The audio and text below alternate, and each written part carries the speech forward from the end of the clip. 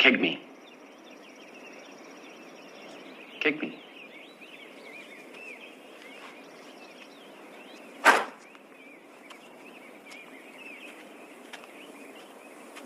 What was that? An exhibition? We need emotional content. Try again.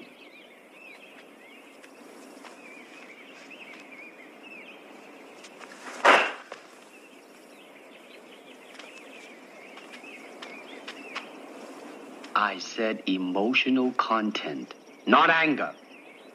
Now try again. With me.